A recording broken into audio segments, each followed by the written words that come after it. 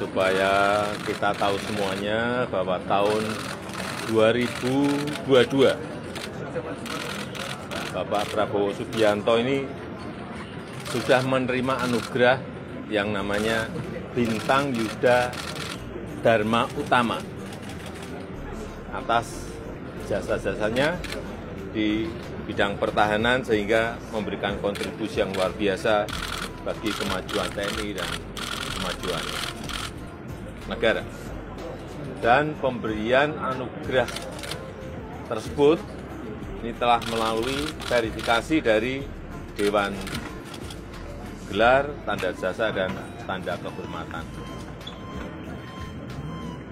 Dan implikasi dari penerimaan anugerah bintang tersebut ini sesuai dengan Undang-Undang nomor 20 tahun 2029. Kemudian Panglima TNI mengusulkan agar Pak Prabowo diberikan pengangkatan dan kenaikan pangkat secara istimewa. Jadi semuanya memang berangkat dari bawah. Berdasarkan usulan Panglima TNI, saya menyetujui untuk memberikan kenaikan pangkat secara istimewa berupa jenderal TNI.